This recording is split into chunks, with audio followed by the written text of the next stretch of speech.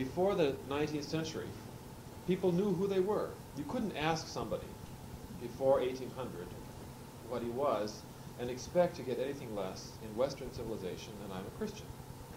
That is, the sect may vary, but it was part of the world. Atheism really wasn't an alternative. Agnosticism wasn't. Um, I'm talking about Tom Jefferson this week to my American Lit students, who for us is a deist, which is sort of a thin Christian, right? Um, but all the same, if you ask Jefferson, "Are you a, are you a, do you believe in God?" He would say, "Of course I believe in God." Now I may rearrange the Bible, which he did, to fit his own taste, but it wasn't conceivable to him that there wasn't somebody who made the world.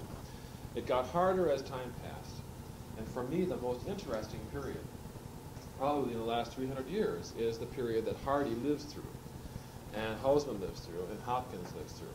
Now they reflect that difficulty in different ways. And they, the three H's is what I always think about them. Hopkins will do next week. And Hopkins is a priest. And I don't think you will find more powerful or effective devotional Christian poetry than you'll get out of Hopkins. Uh, he can express glory, a Christian sense of glory, greater than anybody. Right? Uh, the grandeur of God is what he calls it in one. And I don't know any poetry that does it well. Uh, he also he can express uh, Christian despair, right? His own sense of insignificance in ways that that uh, stun one. But the power of his poetry is very much a product of the 19th century. Right? He's committed himself in certain ways, and he knows the difficulty. Now, let me put him aside. We'll pick him up next week. The most representative of this whole period, I think, is Hardy in many ways. If you have uh, remembered Hardy, you probably remember him as a novelist. And Hardy wrote large numbers. He must have 25 or 30 novels at least that you all know, at least by reputation, if you haven't read them. Tess of the D'Urbervilles, right? Jude the Obscure, Far from the Madding Crowd. By 1890, Hardy had already established himself as probably the premier novelist. But if you remember Hardy's fiction, you remember that his fiction is bleak and bleaker and bleaker. And the world in which he lives is not a world in which God doesn't exist about a world in which you can't rely on God, uh, that He's not going to interfere. God has created certain jokes that He plays on us. And from the beginning in Hardy's fiction, you sense that He's moving down towards the real despair of Jude the Obscure, which was his last novel. What's interesting to me about that is that when I, when I think about Hardy, I think he's the most problematic of all writers for me. I don't understand why I read Hardy. I know a lot about literature, and I know who writes good books and who writes bad books. But I also know that if I'm if I'm having an emotionally difficult time, if I'm under pressure, for some reason I want to read a Hardy novel. Um, when I was doing my preliminary examinations for the PhD, I found myself reading Hardy throughout that whole period. and I was so nervous and so tense, I had a tick in my eye for two years, I think.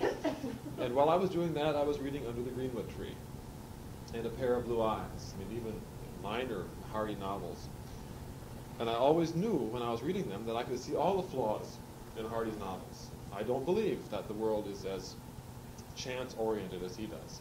And you read Hardy's novels, and if you remember, the strangest things happen Remember Tess the Obscure, she writes an important letter, slips it under a door, and of course it goes under a rug. It's never found.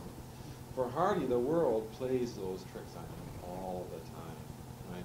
You're not going to get God, as the Puritans would believe, in their involving and affecting life. Part of the world is that this is it. The bad is there with the good. And whoever runs the world above us is just as likely to play a joke at our pain, at our expense, as to give us joy or pleasure.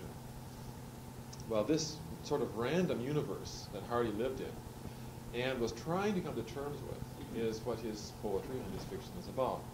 By the time he wrote Jude the Obscure, Hardy was simply saying too much. And the world did not want to hear what he had to say. The critics went after him. If you know Hardy's dates, Jude the Obscure came out in the 1890s. He was born in 1840. Okay, so he's in his mid-50s. He's already a major novelist, and he says to the world around him, all right, you don't like my novels? Stuff it, right? I'm going to write poetry now until I die. Well, he didn't know whether he was going to live to be 88. so, so, so Hardy quit writing fiction and wrote poetry for the next 28 years of his life. And many critics today feel that he's a more important poet than he is a, a novelist. He is difficult poet, I think, to argue in some ways. I talked with Mary last night on the phone, and I was saying some of the things that I've felt for years. And then last night, after I talked to you, I was looking through the poems. And this morning, I had a second hour free on Wednesdays, and I was reading them again, deciding how I wanted to talk to you. And and I said, well, I wasn't telling the truth. I like these poems. uh, I really do like them. And often Hardy is unusually beautiful as a poet. Now he comes, and I was thinking, why do I feel that I don't think he's as good a poet as Hopkins or Housman? I don't think he's a craftsman in the same way. But all the same, when Hardy speaks to you, he's talking about some of the crucial experiences of somebody alive in 1900 who sees it harder and harder and who wants to believe knows you can't believe. Knows that science has taken over, right? Nature has taken over, and the God who was there participating in life is gone. It's not going to help you anymore. I want to read to you a, a paragraph. Uh, this is by Irving Howe, describing some of Hardy's multiplicity. And then let's turn to some of the poems and read them together and see what we get. See how you feel afterwards. I was uh, thinking this morning I can't do Hardy in less than three sessions, but I will do Hardy in less than three sessions all the same. Here's a paragraph by Irving Howe. This is from uh, the Atlantic magazine's Brief Lives, uh, sort of a dictionary of literary figures. Like many great or near great writers, Thomas Hardy is an elusive, almost protean figure. The more one reflects upon his work, the more it seems to grow into multiplicity we can read him as a philosopher, spinning fables of determinism, an elegist of rural simplicities, a poet of tenderness, a Christian whose faith has been hollowed by skepticism, a country pagan whose mind is covered over with Christian pieties, an imaginative historian of the revolutionary changes in 19th century moral consciousness, an autodidact who keeps stumbling into sublimities of intuition curious and interesting paragraph, but it touches on a lot of the feelings you have about Hardy. I know inside that one of the reasons I read Hardy novels is that when you enter Wessex, when you enter his world, you enter a world where country England reigns. I, I know that I don't really care very much about the main characters in a Hardy novel, but the world of his rural villages, his people who go about their lives in a sense, they're in tune with the world around them, survives. The only novelist I can compare with Hardy, and it's it sounds like a downgrading, but I don't think it is, is, uh, is Walter Scott. Because Walter Scott creates a world. Uh, he's like a caricature of Hardy in some ways, because I never liked the Scott plots. And I don't like the Scott major figures. But the minor figures that inhabit a novel by Sir Walter Scott live so vividly that you want to read them anyway. Uh, Hardy's much better I think his major plots are more interesting. We've seen Tess recently, probably. Um, but the world is the same. Right? It's a narrow world of rural England in which people are in tune with the world around them. And when I am not in tune with the world around me, I find I like to read Hardy. And I say, I don't like what he's doing here. I don't like his symbolism. It's too crass. It's too obvious. But I like this world. I like this little village. Does that make sense? I want to be in Casterbridge tonight instead of, instead of Seattle. The experience of reading Hardy is not always invigorating. Uh, just the opposite, I think. Hardy makes me feel makes me feel sad about life. He makes me feel that um, it's not easy to be a sensitive human being, looking at the world around you, knowing that we don't have what our grandparents had I was uh, thinking about this this week. I went to an archdiocesan conference and uh, listening to three wonderful lectures by a moral theologian who was talking about how the, how the church has to change and continue changing away from legalism. He said one of the great weaknesses of the Catholic Church over the years has been that it has bowed to the natural desire to know the truth. He said that the uh, theologians in the 19th century knew because they figured it out that if you looked lustfully at a woman for 30 seconds, it was a mortal sin. Less than 30 seconds was all right. and, uh, I thought at the time, if I had known that when I was 15, you know, what a difference it would have made. Um, that's a desire. It's a natural desire, as Father Riley said, right? If we could know when we're saved and when we're damned. And the church has always been very strong in giving you that absolute answer. If you have an absolute question, right? Is abortion a sin? Yeah, it is. But the question is not the act, right? But why is a woman driven to it? Right? Why must we pity and love this woman who's brought to an act which is in itself a sin? It's a marvelous lecturer. See, Hardy is in that same world. It's the world that don't that won't give you answers. Is there a God? Well, no, I'm not going to tell you anymore, right? Is there an act which is in itself good or bad? Well, that's gone too. And on the verge of his life, coming up, is, as you remember, World War I, which is going to explode the insecurity that he's talking about into a million pieces. And after him, you've got F. Scott Fitzgerald, right? You've got the Lost Generation. So we see the 20th century on the on the horizon when we read Hardy, and it makes you sad because we're seeing gone or lost what was very important right, at one time. And he's most sensitive to it. As I was reading these poems this morning, I thought, this is good. This is really good poetry. And I told Mary last night I didn't think he was very good. I have, I'm, I'm going to try to see if I have enough. I have about 15 here. Some of you may have to look on. I was uh, using the uh, duplicating machine at Eastside Catholic. I didn't want to press my, my luck too far. I may have enough here. We'll see.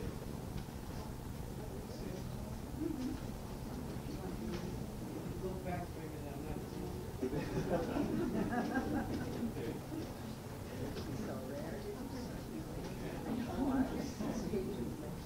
Okay, now I have, uh, I have three more. One. Yes. I have, I have one more. Can, okay, I need a, can you look on? I didn't get enough.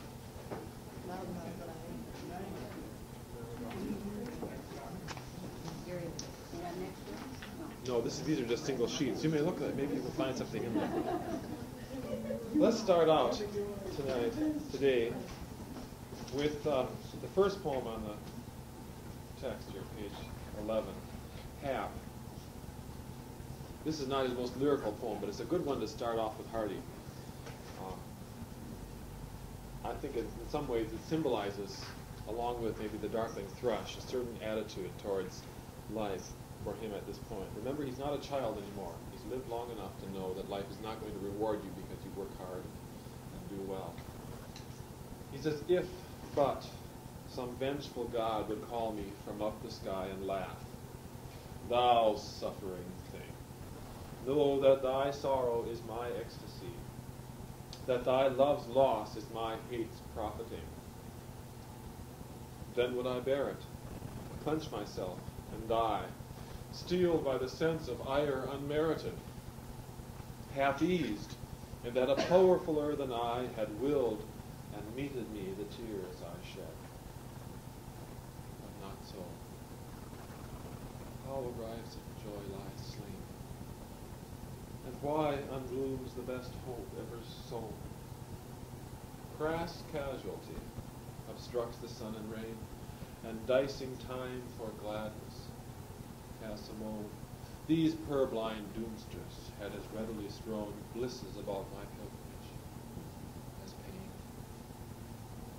Very powerful poem, and I think anybody who's lived long enough to know that your hopes don't come around necessarily um, can feel the, the strength of this. Does it remind you of anybody? It might remind you of Captain? If you've read Moby Dick, right? Ahab says, I don't care what you are, but you are whatever it is. He calls it the motiveless malignity of the world that presses on me. And Ahab's heroic stance to stand up and say to the world, you won't tell me what you are, but if you can hit me, I can hit you back. Right? If the sun attacks me, I can attack the sun. We know he's crazy. I mean, Ahab is crazy. He's a monomaniac. But all the same, there is a nobleness about this refusal to be crushed by the way things are. Right? Ahab carries the haphazardness of life on him. He's got a scar right down here, right? From right down, his, he's got one leg missing. When Starbuck says, well, the, the whale was just protecting himself. That's not an answer. I have lost a leg, right? There's that. The human being wants reasons. And so he says, if you could give me a reason for life being the way it is, that's that if but. If but some vengeful God would call to me from up the sky and laugh, would he like that? Well, what he wants is a loving God, obviously. But if I can't have a loving God, I want a God. You see? I want a God who says to me, Thomas, you suffering thing, I want you to know that thy sorrow is my ecstasy.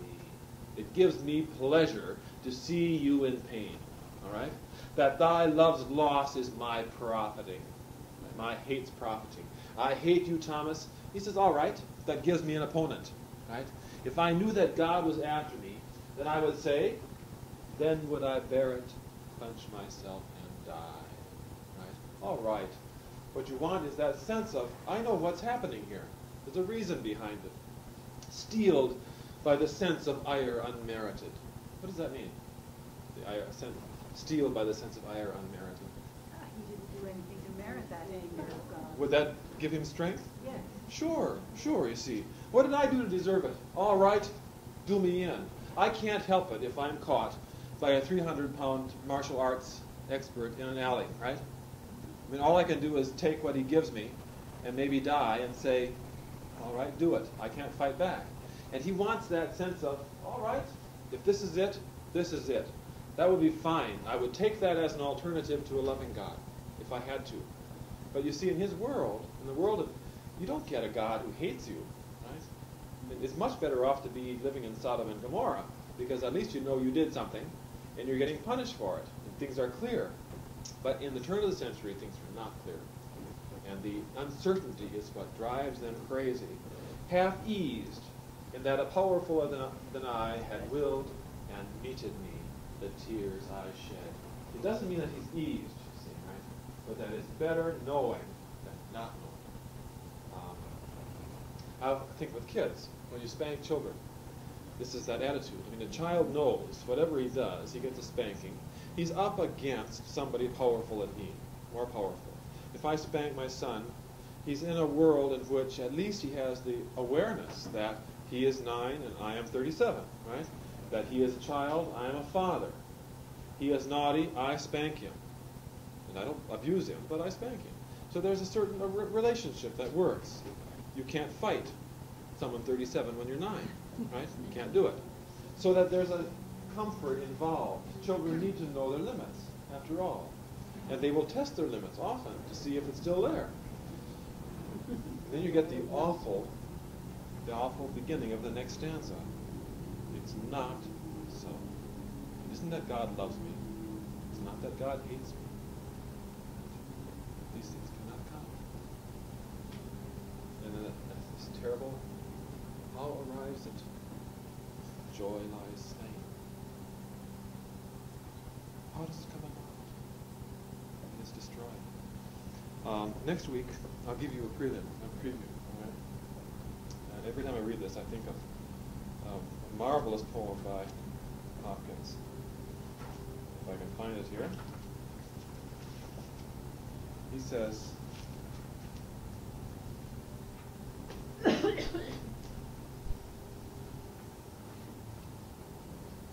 Thou art indeed just, Lord, if I contend with thee. But, sir, so what I plead is just. Why do sinners ways pass? And why must disappointment all I endeavor in? It's the great lament of the Old Testament, right? Why, why do sinners prosper, right? Why isn't it that being good is rewarded on earth? Ecclesiastes knows this, right? They know it in the Bible. God isn't going to make you happy and wealthy because you're good. You might suffer like Job until you die. It's the same idea that he's working on here. How arrives it? Joy lies slain. Why unbelievers? The best hope ever, ever sown. The image there is you cast your seeds. Them. Um, I was telling a colleague about my getting Eastside Catholic, this job. And, uh, and he said, well, I have a job, but I you'd get one. I said, what do you need? He said, you're too good a teacher not to be teaching. He said, you cast your bread upon the waters, right?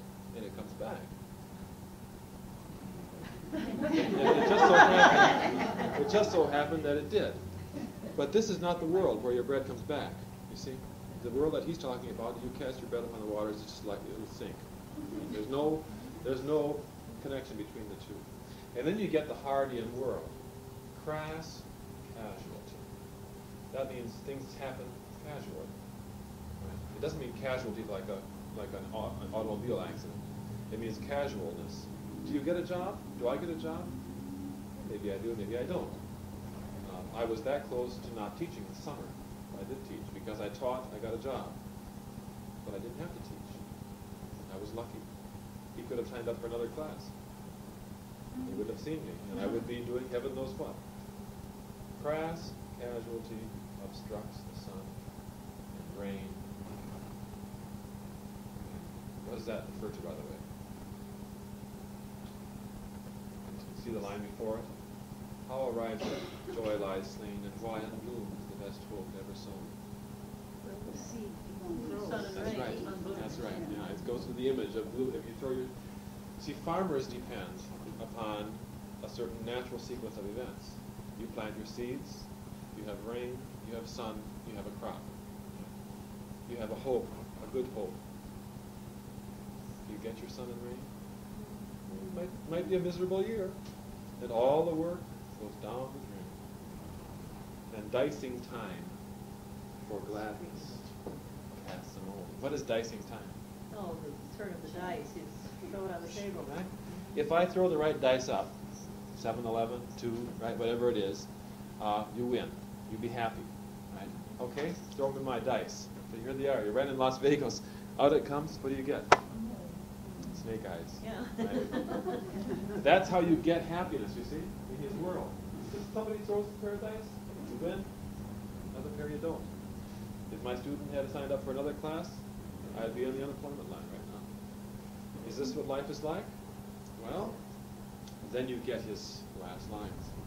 These purblind boosters, that is readily so listens about my village.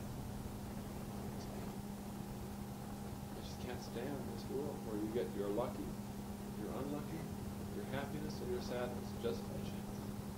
And you think back to your own lives and how often we have been happy or sad just by accident. You cross the street at the wrong time. You lose a grandfather.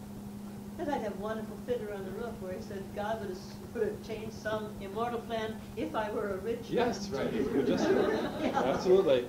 This is the, the, the most minor of all experiences. But there, there's, there's at least a plan. Yes. Yeah, but it's re- it's retrospective plans. This is not a plan. No, and that's what drives him mad. He wouldn't mind being on the bad side, but to be on the side where you can't find the truth drives him mad. What's worse? Like, uh, when we were growing up, the nuns would always say, well, it's God's will. And you could, I could accept anything. Sure. I remember a woman who lost her husband and children, and, and everybody admired her because it was God's will. That's right. But if you really weren't sure, then it would drive you mad. One of the oddities is that that's a heritage for us of our Puritan past. That is, the, it isn't Catholics that are providential in their awareness the way it is we Americans who are descendants of the Puritans. The Puritans looked for God's will in the world around them. And when something bad happened, it was providence. It was a sign. And that is, no matter what your religion is, we as Americans carry that with us. We are the blessed nation. We are the city on the hill. Losing the Vietnamese war to a Puritan is a sign that we have failed. And God is telling us, you no longer win just because you're my people. Right? But that's that's our heritage. But it's not a Hardy, right? Nope, nope. It's not God's will. It's accident. Let's try a, uh, neutral tones, the next one here. Supposed to be one of his best poems, as you can see me having written in the margin there. We stood by a pond that winter day, and the sun was white, as though chidden of God. And a few leaves lay on the starving sod, and had fallen from an ash, and were gray. Your eyes on me were as eyes that roved over tedious riddles of years ago. and some words played between us to and fro, on which were, on which lost the more by our love. The smile on your mouth was the deadest thing alive to have the strength to die. And a grin of bitterness swept her by like an ominous bird of wing. Since then, keen lessons that love deceives rings with wrong have shaped to me your face, the God-cursed sun, the tree, the pond edged with grayish leaves. I can hardly bear those those words that the smile on your mouth was the deadest thing alive, no strength to die. You'll see that one something that Hardy's able to do is to set very strongly a mood and a place. The world, Hardy's world outside fits the world inside. And if you remember reading Hardy's novels, when people are having a miserable time, it's usually in winter. Or Uh, raining. Right, or raining miserably. When they're happy, the sun shines. And this poem shows that same point. I think the key to this poem is the title. You reach a certain enervation kind of point. You fall, one of my colleagues is getting married December 19th. She's 23, will be 23. And she's all happy. She's planning her marriage and the color. She's talking about it. Just graduated from college. And, uh, and I remember getting married. I was married 14 years ago. And I remember thinking, the future you live to, how you get where you are. She can't imagine what she's talking about here. There was a time when we loved each other, and, but anybody who's lived with somebody else knows that the elation of new love changes to other kinds of relationships. It doesn't have to happen the way it happens here. It doesn't. But the poem is getting at change, right? Uh, moods. Uh, when you're newly married, you don't have neutral tones. Everything's in bright colors. right? But eventually neutral tones will come. You notice the coloration? Yes, gray, beige. Setting that scene. One, we stood by a pond that winter day, and the sun was white. I thought, children of God. What does that mean, children of God? God scolded. And so God scolded and chided, So we would say. Yeah, he's, right. So already relationships are not right, right? And it's per- right- And a few leaves lay on the starving sod. You see what's happening here? It's fall, the leaves are falling, but what happens to the ground? The ground is starving, it's needing something. Had fallen from an ash. The. One of Hardy's strengths as a poet is the pointing image. You can see these leaves, a few of them lying on this, the gray leaves, right, lying on the hungry grass. I like the term starving here because it's an internal word, right? The, the sod needs water, probably? But here it is. Gray. Pale white sun, not yellow sun. The leaves themselves are gray, they're not red. I was telling students about Vermont this morning. No, it's not Vermont in the fall. Your eyes on me were as eyes that rove over tedious riddles years ago, and some words played between us to and fro, on which lost the more by our love. What does that mean? They're speaking. Which one of us lost more? Yeah. Can you, can you guess that? They're talking about what you gain and what you lose by loving. It's all over, in other words, right? And they're talking about their memories, their experiences. Um, we're scheduled to do Whitman in the spring. Whitman has a marvelous few lines in Song of Myself, where he talks about a lover getting up in the morning and finding that his lover has gone and left roomfuls of baskets covered with white towels swelling. And he says, Shall I scream at my eyes that they linger from looking down the road and instead add up? Who's ahead who's behind? Right? What his eyes want to do is to watch the lumber go down the road. But he knows that that's not smart, right? So what you do is say, all right, who's ahead and who's behind in this? Right? That, this is not the way you run a relationship. You don't say, I have gained three points on her today, right? um, so that when it's all over, I'm ahead. You see the point? Some people do. You suppose he wrote that after his first wife died? Whitman didn't have a wife.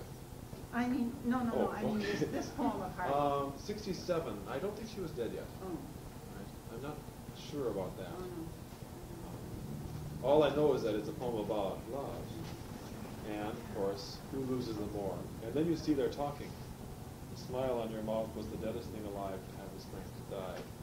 And the grin of bitterness swept thereby, like an ominous bird a wing. Ominous implies the future. Right? It's not over yet. These poems remind me, if you remember him, of, uh, of uh, Meredith. Have any of you read Meredith's poetry on modern love? Where he talks about the disintegration of his marriage to uh, Mary Love Peacock. She, he, is, the most uh, awful, wonderful sonnet sequence called Modern Love. Uh, really terri terrifying poem in some ways about a marriage that disintegrates and the consequences. But I'm reminded of this here. Uh, Meredith wrote uh, The Egoist, uh, Ordeal of Richard Feverel. was an author. Somebody ever ever read it? Very hard man. Wasn't he Hardy's editor or publisher, one of the? I don't know who was with him. He was alive at the same time. He died about 83. Since then, keen lessons that love deceives and rings with wrong have shaped to me your face, the God cursed sun. That takes you back to the opening line, right? And the tree, the grace leaves. You, somehow, somehow you have to connect that last stanza with the previous one. As ominous implies the future, and then the next very next word is since that time. You see right? Love deceives. Um, I'm understanding what they mean by love is blind for the first time this fall, because when the students are 15 and 16, they're reading the other sets for the first time. And they just fall head over heels in love. And I always thought love is blind meant to bl- blind to the faults of the person you love. But that's not it. Love is blind to everything else. The grades just drop. Love is, they're, they they think they're in paradise, and then they get their grades. Right? it deceives radically. All right, that's enough of that one. Turn to, let's see, number four I have on this list. I would like to number seventeen.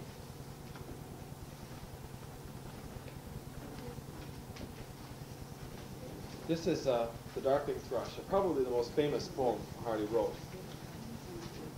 And I want to do some of the soberer ones first. We'll get to some lighter ones with some possible hope later on. You'll see a shift in Hardy's attitudes at this point. One of the difficulties that he had was that he could see in the world around him that nature seems to imply an understanding that he can't see. Repeatedly, he will say in his poetry, that bird knows something I don't know. What would make a bird sing on December 31st of 1900, beginning of the new century? The problem is, of course, that for us, reasoning creatures, there's no connection. We can't, we can't make it. We've already given up. And this is a very sober poem about that shift from the 19th to the 20th century.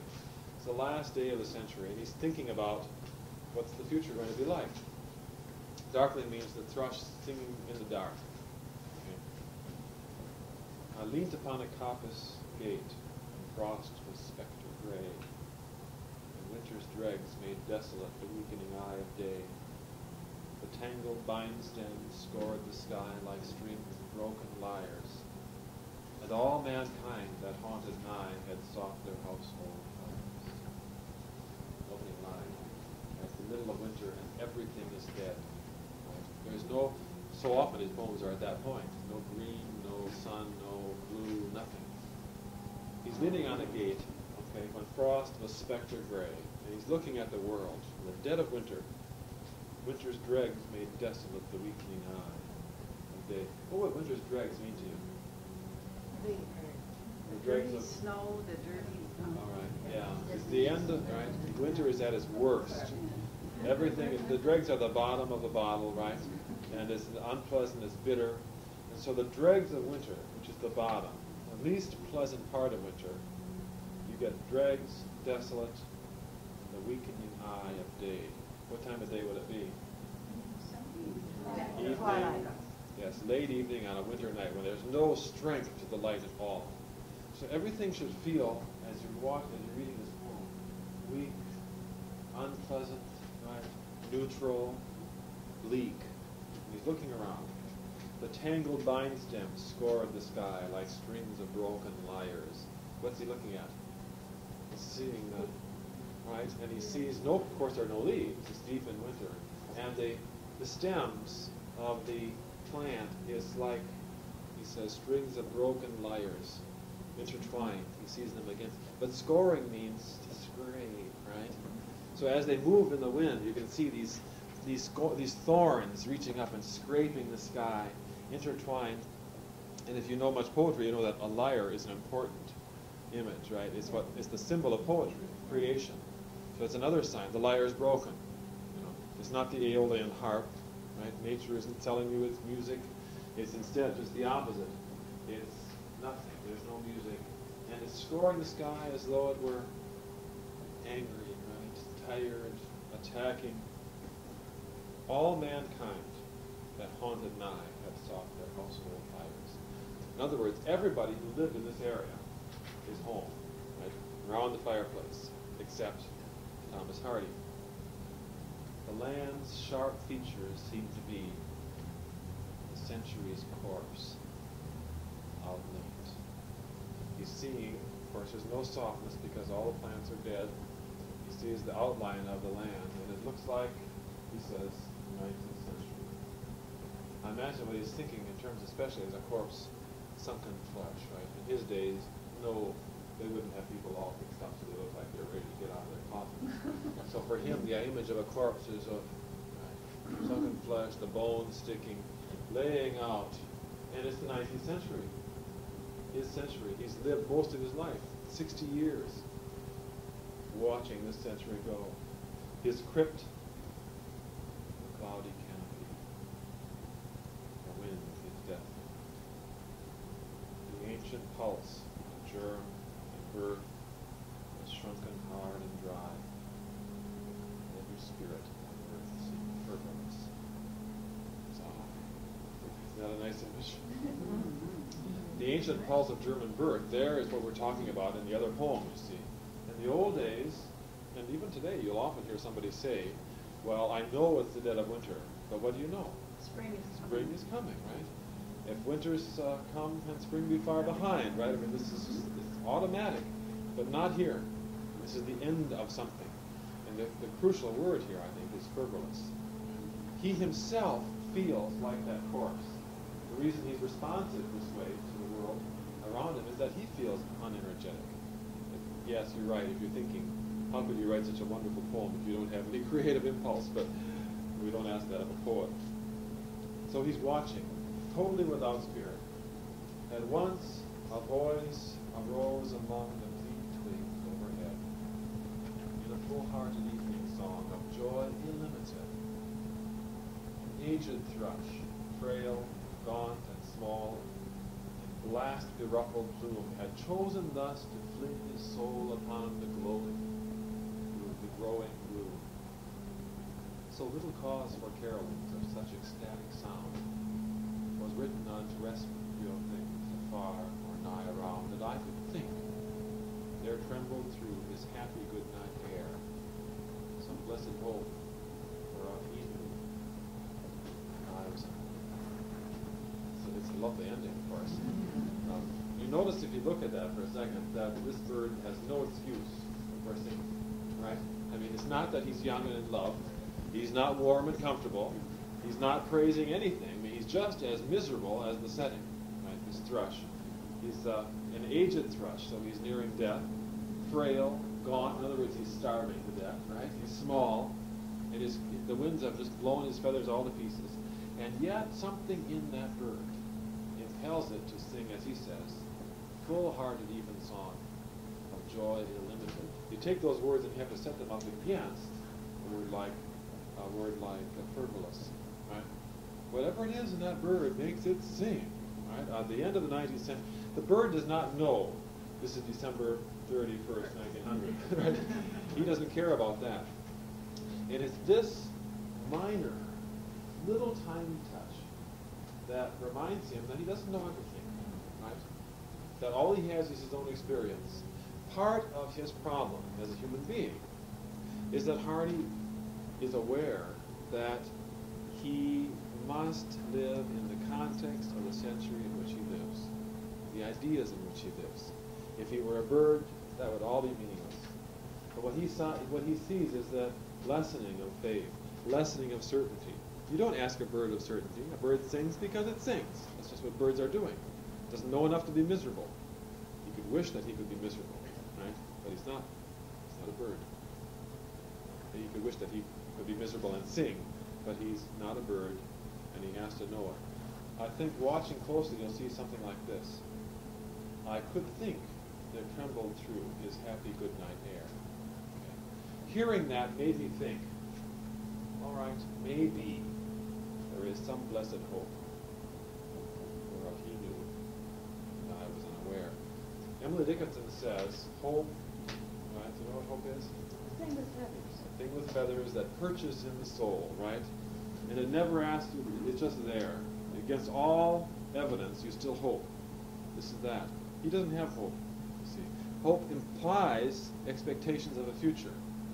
And a reasoning mind would say it's obvious that this bird doesn't have any expectations of the future. It's just there. I mean, birds are there, they sing, they sing for the moment. But for him, it has to do with the past and the future. This is the beginning of the 20th century. All right? Maybe. But you notice he doesn't come down and say it. You know, there's Hardy. Now, another poet would say, ah, it reminded me. It reminded me that there is no reason why the 20th century can't be a wonderful century. But it didn't convince me of that. All it showed to me was that I don't know everything. I'm limited to my own perspective, my own world. This is one of his most famous poems. A very good poem. And I think most of us like Hardy the most. Not that he gives up. He doesn't give up. But that he doesn't become dogmatic. Right? He never comes out and says there is no God, there is no hope. He says, boy, if I could have it that way, I would have it that way. Let's make a quick shift. I wanted to um, turn to number to uh, the oxen on page 37. I'll give you a break in a minute or two. Here you see this in a religious term. Christmas Eve, page 37, and 12 of the clock. Now they are all on their knees, an elder said, as we sat in a flock by the embers in hearthside ease. We pictured the meek, mild creatures where they dwelt in their strawy pen, nor did it occur to one of us there to doubt they were kneeling then. So fair a fancy few would weave in these years. Feel, if someone said on Christmas Eve, Come, see the oxen kneel in the lonely barton by yonder coombe our childhood used to know, I should go with him in the gloom, hoping it might be so. I love this poem. I think it's really a marvelous. Now here's the adult, right? He's thinking about when he was a kid. when you're a child, you know, right? And you just say when sister says, "This is what God will say." That's right. Um, and when he was a boy, he remembers every Christmas Eve, an old man would say, "Ah, midnight." It's an old myth, a rural myth in England, that at midnight on, on Christmas Eve, all the animals get on their knees to honor Christ's birth. Of course, you say it when you're sitting at the fireside, right? You're not out there looking. But you see what he says? We picture then the meek, mild creatures where they dwelt in their strawy pen, nor did it occur to one of us there to doubt they were kneeling there. It never would have occurred to a, a child growing up in England in 1850 that when the myth is said, it's not true. I remember myself walking from home to church in a snowstorm in December and thinking about these things and trying to understand how did they happen. How did they happen? I must have been maybe eight or ten. I was going to choir practice and it was a perfect Christmas, you know, Christmas event in Wisconsin. The snow was falling gently, and, and I remember I was singing to myself about "Oh Holy Night" or something like that, and thinking about these and trying to make a, an attitude towards them, but incapable at that age of doing anything except, except saying this is the way they were. I couldn't see them as mythology, for example, as necessary faith. They were just facts. For children, I like that. And then you get that shift to adulthood, right? And the child doesn't. My, my, my daughter said last night at supper, Daddy, does God have a beard? well, See, my wife is very easy with that, but I like to tell the truth. So I said, well, Emily, God doesn't have a faith, a face. face. Uh, she's only five. So anyway, you see the problems you get. For her, it's pretty clear, not for me. And that beginning of the third stanza brings us up. I mean, none of us here, for that's not for us, that's not, not a question. No adult worries whether God a beard or not. Children believe it. And there we, he speaks for us. So fair a fancy few would weave in these years. Not many people would say, let's go out and see the animals on their knees. However devout you are in seeing, that's mythology you don't expect it to happen. And then you get the yes. He knows the truth. He knows that animals aren't. If they're down there, it's because they're sleeping, and that's it. Right? God does not give us those indications of his presence that he might have given 2,000 years ago. We have to live on faith instead. Right? How easy, how wonderful. Imagine if, the, if this actually happened. There'd be no atheism any place. If you could just watch the animals every Christmas get down on their knees, right? It would solve all problems. And he wishes it were like that. It's that same desire, you see, for 30 seconds, and then I'm damned, I'm damned, right? 29, I'm all right. Yet I feel if someone said on Christmas Eve, he's an old man, he's uh, 65 years old. Come, see the oxen kneel in the lonely barton by yonder coombe our childhood used to know. See the language, by the way, barton, yonder coombe. Go back to when you were a boy. If at this age, an old man, right, 18, 19, 17, well on in years, and no fool, somebody said to me, "Come, let's see if they're out there. What would he do? Would he say, I know the truth? He says, well, I, I go take a look. At least those last lines are hoping it might be so. Now watch what happens. That's a very nice ending. But it's not totally nice, right? Because you know that if there were another stanza on this poem, they wouldn't be there, would they? So it has to be a poem of not ceasing to wish? Not a poem of finding, right? But the glory. All right, should we start again?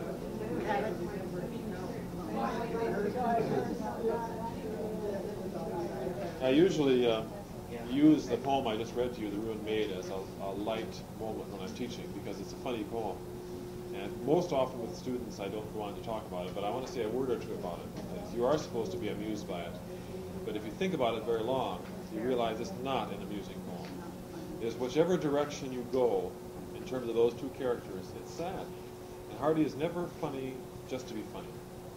Um, he wants you to laugh, and then he wants you to think. The woman who is ruined is in a sense ruined. That is, she's ruined because she's gone to the city, given up her virtue, and the rewards are, are, are clear, right? You get soft hands instead of rough hands. You get manners, you get society, you get a lot, but all the same, she's a ruined maid. That is, she cannot go home. She is picked. She's a woman of the streets. If she went back to her home, they would expel her for her loss of her virtue. The woman who is good is miserable, right? In fact, she envies the woman who left and gave up virtue because she sees so many things she would like. Uh, her hands are miserable, right? Her language is crude. She is worked to death. Well, she's honorable, all right. She's kept her virtue. But uh, wouldn't any woman like some nice clothes, soft hands? Yeah. You notice that in Hardy's world, these things don't go together. Being virtuous does not mean, right, that you get rewards such as good clothes, good language, society, right, gentleness. If you're a virtuous countrywoman in Hardy's world, you work yourself to death at about the age 30. Tess, very much so. Tess was a ruined maid. When she got ruined, then she got, yes, but she was ruined all the same. So it's a sad poem, aside from the humor of it. We want to leave it with you at that point. Let's read a few more poems that express some of the uh, Hardy-esque uh, temperaments here. Turn to page 15 on his immortality. Here's that dilemma. Um, in the old days, if you were good, right, if you lived the right life, you could expect certain kinds of rewards for it. Very least, you might expect paradise, right, happiness in the long run. What if you're alive in 1900 and you're good? Uh, where is immortality to somebody who no longer believes that immortality is waiting for you? So here's, as is often the case with Hardy, a, a poem on this kind of topic. His immortality shares a typical Hardy frame. That is, it's, it's a normal language. You notice that. Hardy is never highly elevated as a poet. Excuse me. He shares this with Housman, who also uses ordinary language. Unlike Hopkins, who uses elevated language of very unique kind. I saw a dead man's finer part shining within each faithful heart of those bereft. Then said I, this must be his immortality. So he thinks, in other words, of a man's good qualities, and he sees that all the people around him say, show that his goodness has its effect. And this is how we are immortal, on the people we affect, after all. You see, the poem starts off from the point of, point of view that you're not told about immortality. You discover what it might be on your own. So there's no heaven here, no paradise. But he still wants a sense of continuity. Who wants to die and rot away? Nobody does. So he said, now I thought I know what it was. This is immortality. The good that you influence people to in your life. I looked there as the seasons wore, and still his soul continuously bore a life in theirs, but less its shine excelled than when I first beheld. All right. That's another trouble, problem you live so long as he was living, right? You live long enough to see that what he once had faith in, that goodness transmitted to other people will stay, to realize that it doesn't hold up quite so, so far. Emerson, in one of his essays, says, if I could get in touch with truth, even if it were grief, and have it stay, I would be glad to have it. But one of the hardest parts of being alive is the evanescence of all things, right? That every time you think you have it, it's just a matter of time before it slips away. You name what it is, anything. He said, I lost my son, he lost his son at the age of nine or ten. He was a wonderful boy. He was in great pain. He said, at least I thought, now I know. I know grief. A year later, he says it's as though I lost a great estate, as though I lost some property. It still hurts, but it's not anywhere near the same. None of these things last, you see. This is the 19th century over and over again. Give me the truth, Ahab's quest. I want to get in touch with it. Emerson uses a very different way. He's saying the same thing here. Now I thought I knew what it was. Certainty. Oh, no, no. Do you remember Bob? Which Bob? Yes, wonderful man, wasn't he? Okay, it's still lasting. His fellow yearsmen passed, and then in later hearts, I looked for him again and found him shrunk. Alas, a thin and spectral mannequin. Lastly, I asked, now old and chill, if aught of him remain unperished still, and find in me alone a feeble spark, dying into dawn. Curious. Where is everybody? He's lived long enough to have outlived all the people who remember this man, right? He says, how many of you remember that, that wonderful man? Oh, lived before my time. The only one left. Where is immortality? It's in Thomas Hardy, who is old enough to remember somebody from years ago that no one remembers. I think I may have mentioned to you, my grandmother died in her 90s, her mid-90s. Always a very sociable woman, knew everybody in town. My grandfather was a county councilman. She ran a grocery store and had connections.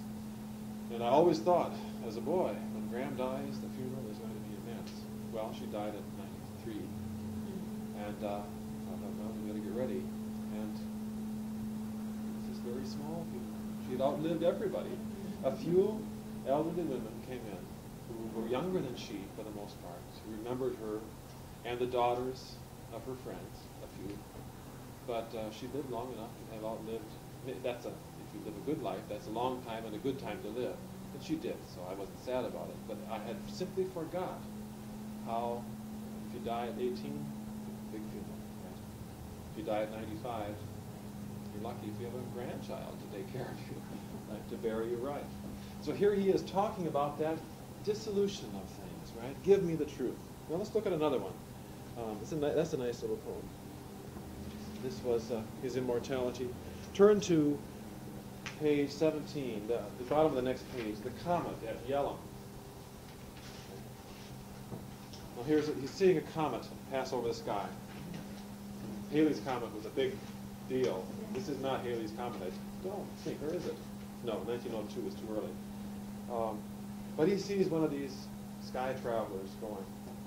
It bends far over Yell'ham plain, and we from Yell'ham height stand and regard its fiery train, so soon to swim from sight.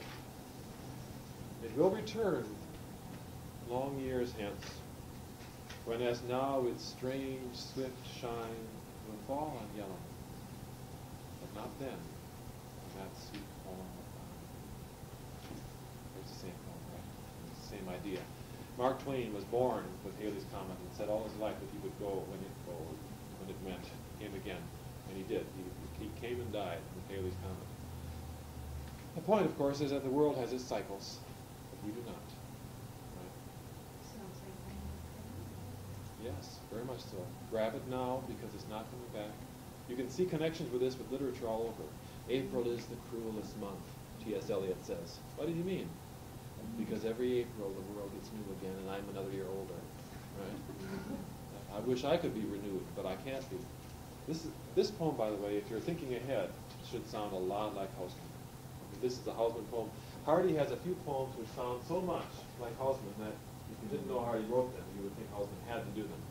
Because Housman's tone is the regret for time passing. Over and over. That's his, that's his song. Time passes and I'm young, and even youth passes fast. And this is one of those Hausman-esque poems. Uh, let's read it through. Not just, it bends far over Yell'ham plain. And we, from Yell'ham height, stand and regard its fiery train, so soon to swim from sight. We could even ask a few interesting little questions about this. You see that the first image is of the comet sweep over the sky, bending, right? And here we are on the top watching. The image is of us looking at it, but it's motion. The whole stanza has to do with motion. Right? Things are going on. The comet will not stand still for our regard. It's going about its business. And as we watch its fiery train, the word train is motion, right? It's a consequence of its motion through the sky. So soon swim from sight. It's on its way out of the sky. And then we have the, the, the conclusion of the appearance. It will return long years hence. I've always wanted to look up to see what comet that was and when it's coming back. I've always, it's, it's occurred to me that might be that it's an every five-year comet, you know, which would ruin the poem. It's got to be every couple of hundred years probably. When now, when as now, its strange swift shine will fall on Yell'ham, but not then on that sweet form of thine. Two points I want to make about that. The first, you notice that it is me versus the world around me. That is, that comet will go its business. This is the bird and the darkening thrush. The bird sings because it's a bird. Birds are. Comets come because it's their time to come. And later on, in 200 years, it'll come again. Complete indifference to us. Right? It goes by its own rules. So that first of all, you see it has that sense of isolation that Hardy is so aware of. Me versus the world around me. Okay? My inability to adapt to it, to live with it. Then you have the internal. Hardy is very aware of me and you. This should remind you of something like Dover Beach. The late 19th century, if you know that one, where uh, Matthew Arnold is saying there's nothing out there to rely on at all except our love and us be true to one another. Because that's all we have. And in the 20th century, I don't trust you, right? Only me. So he says, it will fall on Yell'ham, but not then on that sweet form of mine. What do we not have here? We don't have much hope, but there's something else I was thinking of. No, we have that too. There's a sadness there, right? I was thinking of the me. Right? He doesn't say it will not fall, this light will not fall on me again. It's on, yes. So this is a poem of loss of love. We can make the extension. If it's not going to fall on her, somebody else is not going to fall on either. And his name is T.H., right? But all the same, this is a less ego egocentric poem than some of the others. It's the loss of her rather than the loss of self that uh, comes to us. Let's try a couple others. I'm trying to do some short ones here. Um, turn to uh, the self same song on page 47.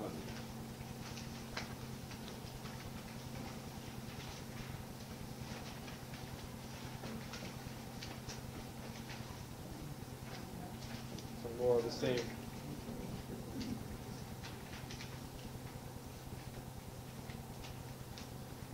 Bird sings the self-same song, with never a fault in its flow, that we listened to here these long, long years ago. A pleasing marvel is how a strain of such rapturous rote should have gone on thus till now, unchanged in a note. But it's not the self-same bird. No, perished to dust is he, as also are those who heard that song. He's an old man here, as you can see. He's 82 years old when he wrote this. And when you're 82, you might want to think about that childhood you had. Can you see the same relationship? Here I am, a human being. When I hear the whippoorwill, when I hear here, uh, I think of when I was 25. Because my wife and I lived in an apartment, and there was a field outside, and every summer we hear those birds. So for me, already I can go back. That's a long time ago. Not as far as for most of you, but still it's a long ways ago. And the sense that, that is that the same bird? Sounds exactly like? Sounds exactly like a bird. Birds keep the same song, right? Uh, trees are the same. They renew themselves without a sense of individuality. Right? So it, the fact that it's a different whippoorwill is irrelevant to nature.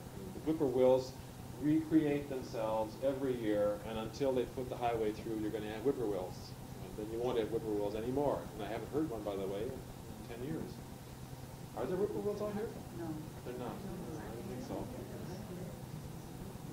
Let's read it through again quickly and catch a few points. A bird sings the self-same song. It's curious that he uses the word self-same instead of same. I always ask students why use two words when you have one that will do.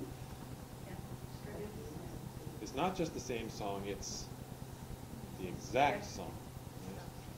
I mean, we could sing the same song. Each one of us could sing uh, some song that we know, right?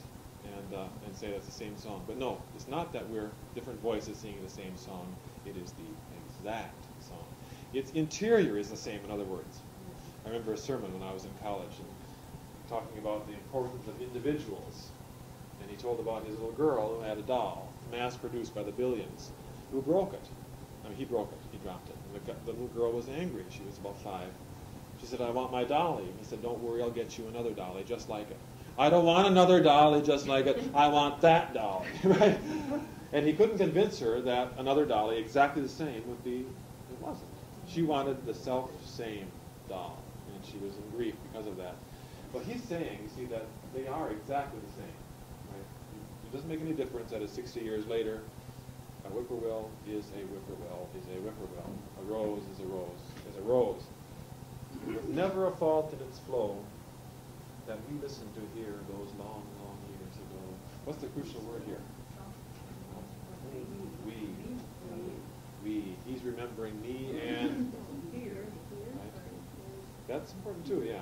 But you can go back to the same spot, but you can't go back to the same people. And he's thinking of it could be a woman, it could be a friend, or a group. Right? I remember when I was a boy, and he's thinking about it. A pleasing, pleasing marvel is how a strain of such rapturous rote should have gone on thus till now, unchanged. Note, if you've lived 82 years, you can make that. It's not one bit different. The key, uh, crucial, the key word here is pleasing. It makes me feel good to know that I may be old, right? But birds are the same. And that, if God just replaces one bird with another. So though I'm old, I don't really live in a different world, except where it counts. Except where it counts. But it's not the self-same bird. Takes you back to the first line. A bird sings the self-same song. But it's not the self-same bird. No, perish to dust is he. As also are those who heard that. We is the crucial word in the second stanza. Me is the crucial word at the end. I am here by myself. Does he make a comment about his feelings at that? Notice that the last line is a restrained comment. He does not say, Oh, woe is me, I am alone, I beat my breast, how awful it is to have outlived the people who heard this with me. In fact, it would be a much worse song, poem, if he did. It's a very good poem because what he does is make the observation and leave it to us to feel the loss that he's hearing in hearing those birds. Hearing. Let's read a wonderful poem. I get a little bit away from the sadness here. The fallow deer at the lonely house. I like this poem very much. It's not so sad. It's one right above this one, page 46.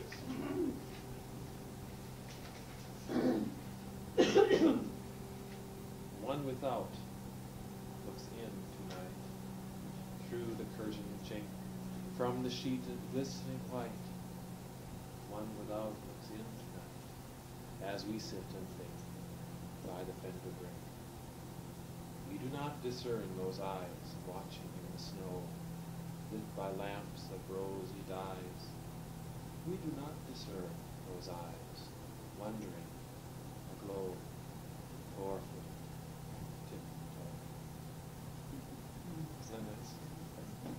Um, well, let's talk about it for a few minutes. The title tells you what's happening, right? They are sitting in winter around the fireplace. The deer comes up and looks through their windows, and he's watching them. He's working in this little poem, which seems so simple, in a very complex, uh, a very complex situation. What does the what does the deer see in his wildness, right? Looking through the chinks of the window at us human beings sitting around the fire, being warm. Curious situation. The poem is about differentness, as so much of Hardy is. It's not a poem of sadness, however. It's just an exclamation of otherness. It's not. It, it would be different if it were a human being, right? If it were me looking in, you'd call the police. I have a peeper, right? Uh, but a deer can't peep. That is, whatever is in the mind of a deer watching these people is pure in a human sense. Right? He's doing. He's just watching. What's in the mind? I, I find it very unnerving to be watched by animals, stared at by animals, right? It's worse than with human beings, as you know the dirty thoughts they have. But what's going on? What's going on in this deer's mind? Um, the fallow deer at the lonely house. Did you notice that in the poem he does not use the word deer? He could say, a deer without looks in he uses the word one, which collapses the deer's otherness with our otherness, right? We are one. To a person, right?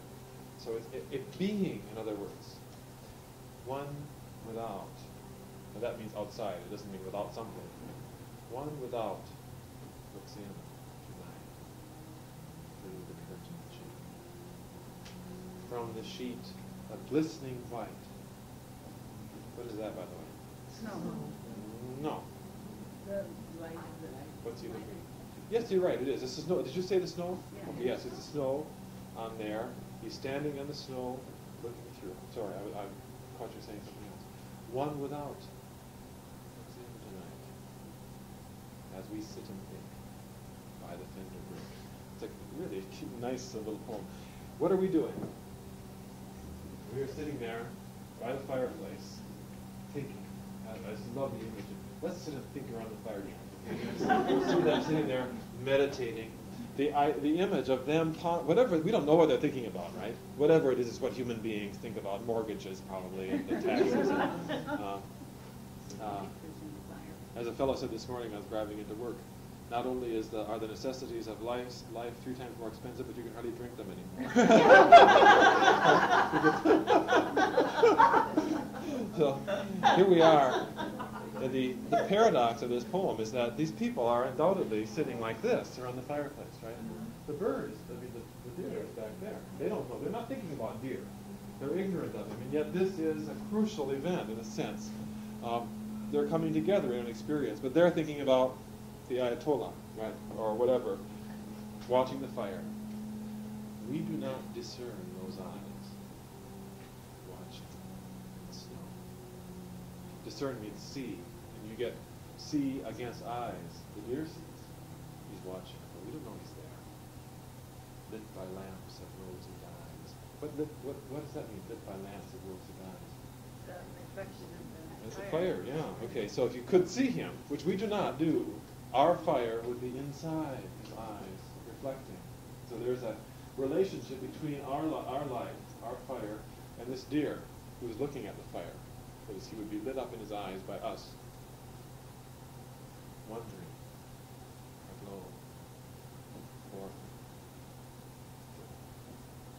Hear that, dear? Yeah. Look at those words, wondering. Uh-huh. First take wondering. Just wondering. Wondering.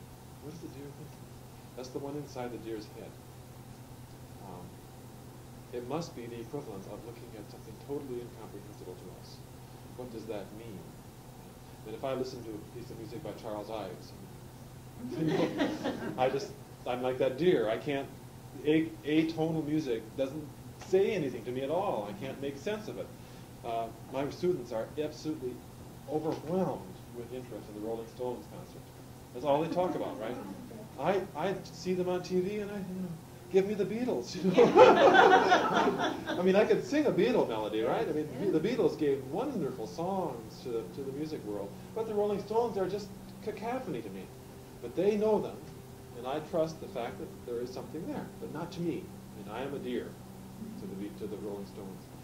So here is that deer trying? And then you get a glow. There's the eyes, right? Fire. Four-footed. Tiptoe. What does four-footed do? So it establishes that it's a deer, you would, Well, you get from the title that it is a deer. yes, oh, yes, Yeah. except It's an animal. We, we don't walk it. I wouldn't, wa- if I was, I'd walk on one foot in the snow, right? But here we are, that otherness. And then tiptoe. Why tiptoe? Well, yes, okay. First of all, deers walk that way. I mean, they have to. They don't have anything but tiptoes, right? So you can see the deer coming in. Correct. But also, what does tiptoe mean to us? Why? Why? If you were a deer, would you tiptoe around people? Yeah. Whatever the deer knows, there is that alien quality. If we sit there and we hear something, where's the deer? Gone. The deer knows. It wants to know more. It watches. I think it's a thoroughly beautiful poem. This is the poem that convinced me I was wrong last night when I told Mary that I didn't really like Hardy, but I like Hardy. This poem is, is absolutely superb. Okay, that's the, the fallow deer at the lonely house.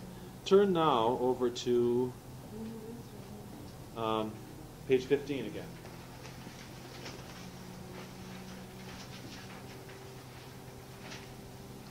a few other randomish poems. Time is passing too fast.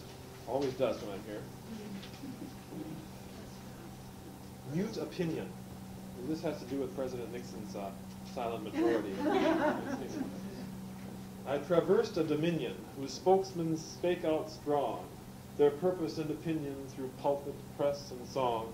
I scarce had means to note there a large-eyed few and dumb, who thought not as those thought there that stirred the heat and hum.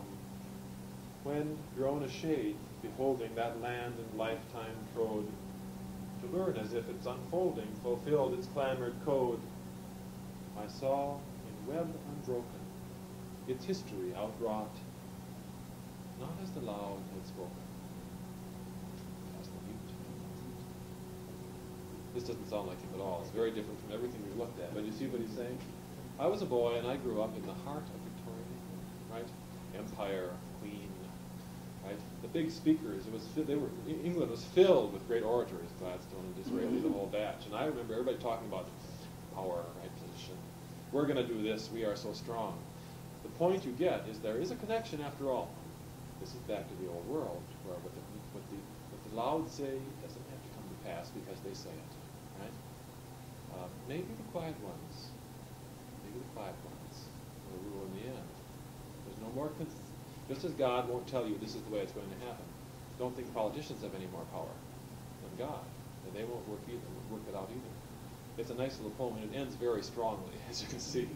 Uh, I have a feeling that he's sort of pri- prideful, that, right, the big talkers, the ones who think they're going to overwhelm the earth, don't really run, uh, run it in the end.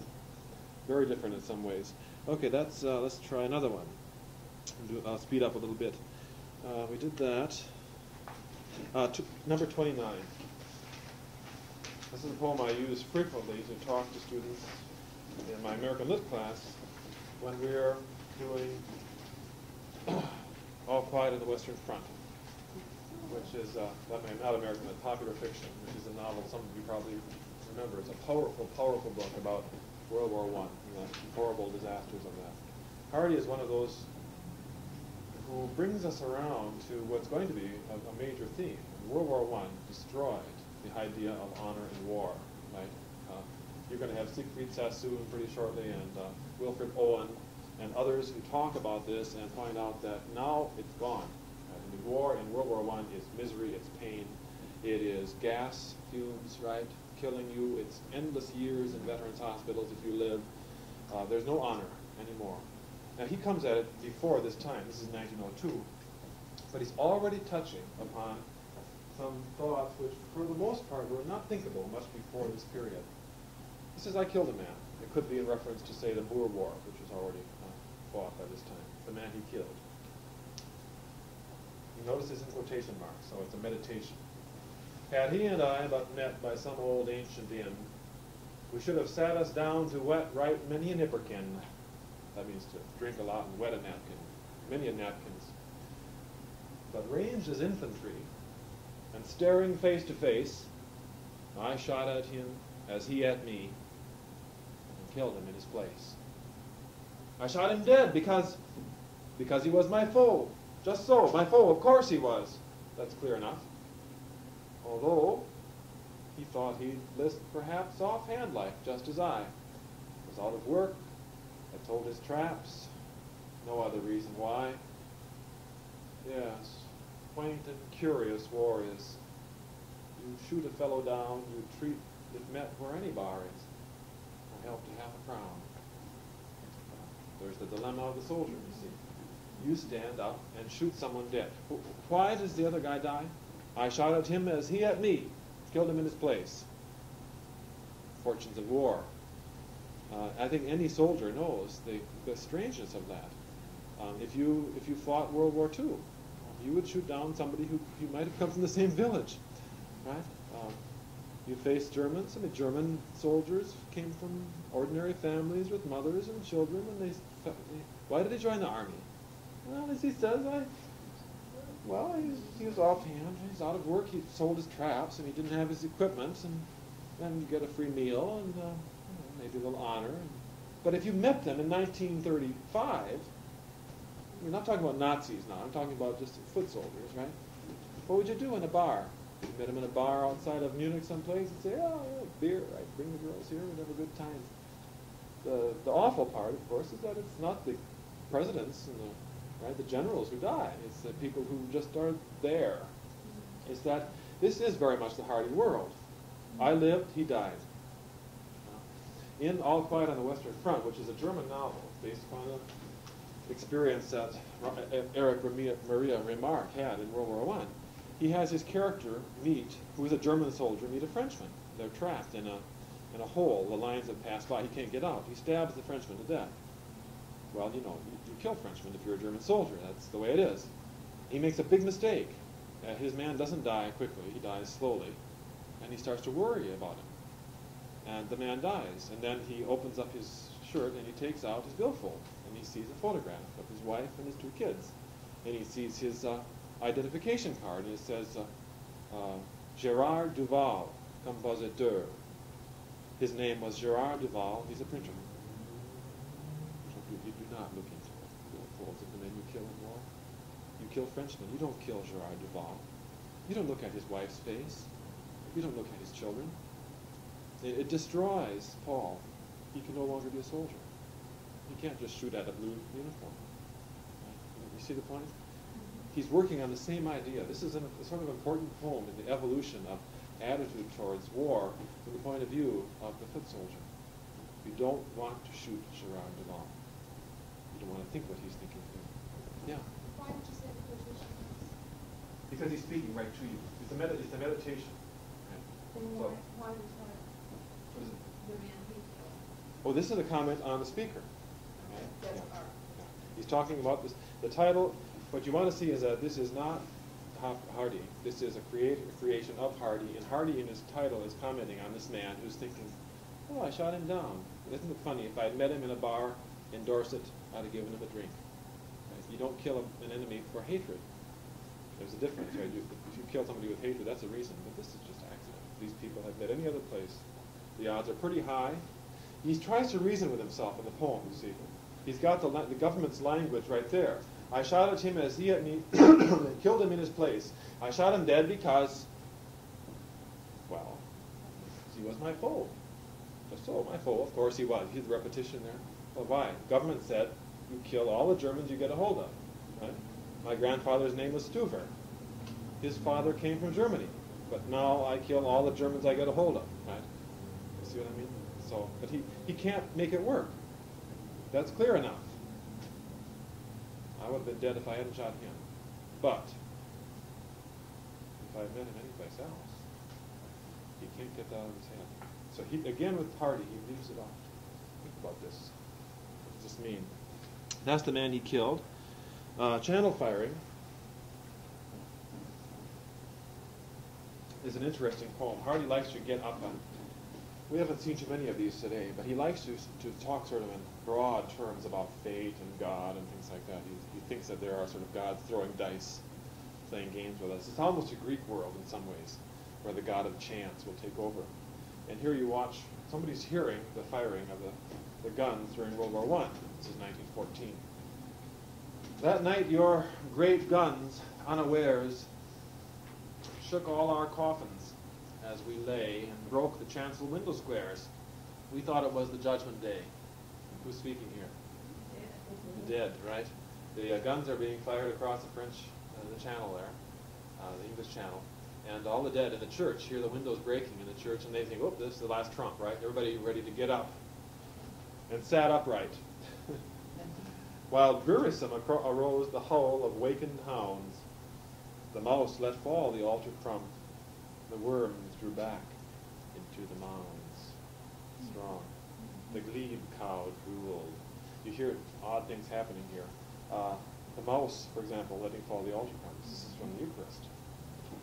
You're not supposed to let that stuff lie around. This is after the Eucharist. It's already been made into the body and blood of Christ. But this is the real world, after all, right? And if you leave it there, yeah, you get a mouse there to, to eat it. Till God called, no, it's gunnery practice out at sea. How does he do it? What's God doing? Said, Get back in your coffins. right? Not time yet. I'll let you know when the last judgment's here. It's gunnery practice out at sea. Just as before you went below, the world is as it used to be. No change. Right?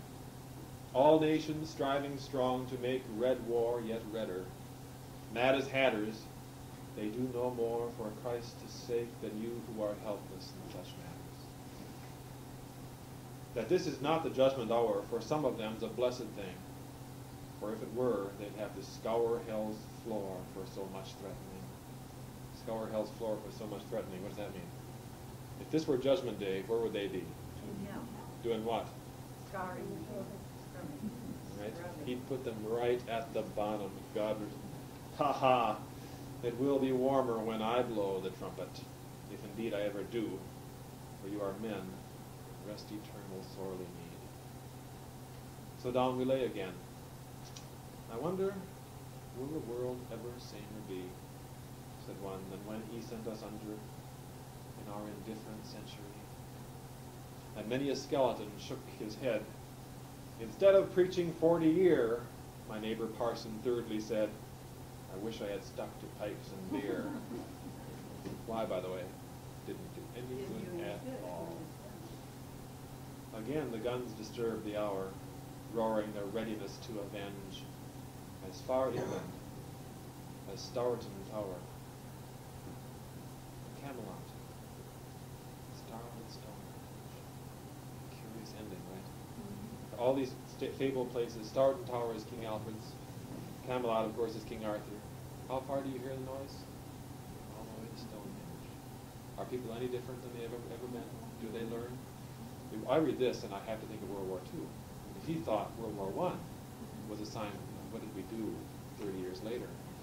And if he had lived long enough, he would have said, I told you so. Right? Give you the weapons, you'll destroy yourselves. You've never learned. What would he think of the nuclear? He was a very, He would say, I'm sure, uh, just give you time. Someday Reagan will wake up with a migraine and push the button. That's the way we are. Hopeless.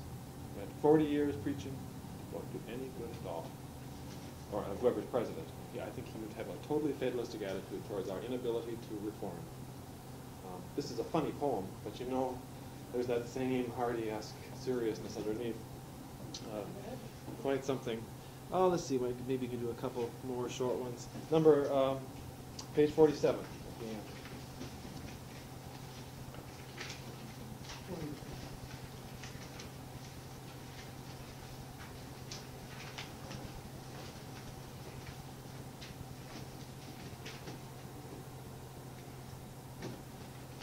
If grief comes early, joy comes late. If joy come early, grief will wait. Aye, my dear. Wise ones joy them early, while the cheeks are red. Banish grief till surly time has dulled their dread. And joy being ours, ere youth has flown, later hours may find us gone. Aye, my dear, tender. There's Housman again, right? Gather ye rosebuds while ye may, old time is a flying. You better arrange your life to get your happiness sooner. You may have happiness later, right? But don't run your life to do it that way. You may not live long enough to get it. So he says, take your youth, your pleasures while you're young. If you're old, you can resort to whatever you have to suffer through after you've had them. You can always look back on them, in other words, right? This is a song. I don't know the melody, so I can't sing it. If grief comes early, joy comes late. If joy come early, grief will wait. Aye, my dear. Um, I think this must be an old saying. It sounds like an aphorism, doesn't it? Something my grandmother would say. Grief comes early, joy. will-" Something they use to to uh, calm people down who are having tough times. Oh, What about I, my dear and tender? What does that mean? I, my dear and tender. I, my dear. Tender is the odd one, right? To say I, my dear is all right, but what does tender mean? young. Yeah, okay. He's talking to a beautiful young woman, right? But Yeah. that's like, we used to say when you, when we were kids, uh, and we were too giddy, something about, uh, your roses, roses are green. I don't know. No, no, something to that effect. Well, he's giving advice to somebody young and tender anyway. Wise ones joy them early, while the cheeks are red. Banish grief till surly time has dulled their dread. Okay, try the next one. A drizzling Easter morning. Uh, back to the old song. And he has risen. Well, be it so. Hear the normal language. And still the pensive lands complain and dead men wait, as long ago, as if much doubting they would know what they are ransomed from before they pass again.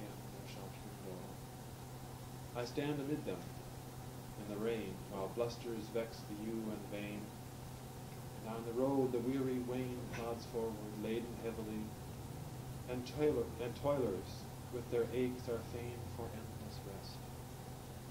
O risen sleep. Well, we're back to the oxen, in some ways, aren't we? Every Easter we say, Christ is risen. In some religions, in fact, that's the way you greet. I think the Greek Orthodox greet everyone on Easter Day with Christ is risen? Isn't that the way you, isn't that right? So it's a reminder of the resurrection. But his reaction is, well, so, what's the change? Be it so. People are working themselves to death, as ever. Time is passing. I want to read to you a poem that I didn't ditto up about himself called Afterwards. He says, I would like you to say this about me long after I've died. When the present has latched its postern behind my tremulous stay, and the May month flaps its glad green leaves like wings, delicate filmed as new-spun silk, will the neighbors say, he was a man who used to notice such things? If it be in the dusk, when like an eyelid soundless blink the dew-fall hawk comes crossing the shades to alight upon the wind-warped upland thorn, a gazer may think, to him this must have been a familiar sight. If I pass during some nocturnal blackness, mothy and warm, when the hedgehog travels furtively over the lawn. One may say, he strove that such innocent creatures should come to no harm, but he could do little for them. And now he's gone. If, when hearing that, I have been stilled at last, they stand at the door, watching the full starred heavens that winter sees. Will this, will this thought rise on those who meet my face no more? He was one who had an eye for such mysteries. And will any say, when my bell of quittance is heard in the gloom, and a crossing breeze cuts a pause in its outrollings, till they rise again, as they were a new bell's groom, he hears it not now. He used to notice such things. What he wants people to think. When we think of Thomas Hardy, what can Hardy, and it's an interesting poem as well, what can you claim if you have Hardy's vision? Did he see things? Did he notice things? You see, he, Hardy's not a man who will say, this is the answer to the problems of life, which is what we all would like. I mean, who wouldn't like that? But he is a man who's able to say, these are the problems. This is the world. He would like someone to say, when they see, he says, when you see the full starred heavens that winter sees, will people say he was one who had an eye for such mysteries? Well, it's a mystery. Pardon? He wanted that. He wanted that, yeah, right. He wanted to be remembered that way. And of course, I think he won that. Because when you see the stars, you might say, Hardy would have wondered about that. He couldn't give you the answer. Couldn't give you the, but he could wonder about it. And that's what it is, of course, in this century, to be a poet in many ways. To be alive and to be human. The key word is mysteries. Mysteries. It's all a mystery. And mysteries are frustrating because we always want to read the last chapter first. Right? We want to know, but there's no end to the mystery that Hardy perceives. I, I like this poem and I like to end with it because I can't think of another poem in which Hardy uses green nature. And the May month flaps its glad green leaves like wings, delicate filmed new spun silk. Will the neighbors say he was a man who used to notice such things? Well, they might not. You know, you don't get many evidences of that in his poetry, that he's been busy noticing such things at all. Um, I think he would like to have been remembered for that, but his uh, tone is a little gloomier than that. Next week, we'll move to, uh, how shall I say this? Hardy is not a man of despair, but he is a man of neutral tones, all right? When we move to Gerard Manley Hopkins, we'll find he is on both of the other sides of Hardy. Hopkins is capable of an elation and a glory you will seldom come across in poetry. He's also capable of a despair that you have to be a Christian to understand, um, that Hardy could not see. Hardy couldn't despair because he didn't have the, the answers to the questions that would have given him the despair that Hopkins has. But Hopkins, who was a devout priest and worked at his profession all of his life, feels both the despair of a Christian on this earth who knows he can't be what he wants to be, and of course the tremendous glory of being a man of the cloth who believes in it and is getting the rewards. It's not a simple neutral life. So we'll see, and we'll see some wonderful poems. One of my favorite poems of all is uh, is a Hopkins poem, and it's it's a very Hardy-esque poem. Do you know Margaret? Are you grieving over golden grove unleaving leaves like the things of man? We'll do that next week, among other things. Um, but it's the state of mankind in this time of the century, I guess. And then on to the, the bitterness of Housman at the end. So that's Hardy. See you next week. of that last Pardon? line. The title of that last. Afterwards. What? Afterwards. Yeah. Let's nail the black line. Okay. Oh, you can have that. Oh, these are extra sheets. Okay. What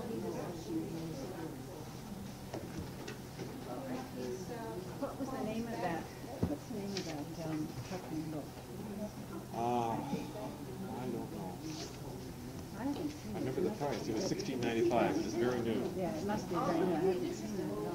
Well, I can find out. I figure out some things you just might be interested in. You can have, I didn't do it. Very good. Oh yeah, the Saki biography is being given a big play. Yeah. Yeah.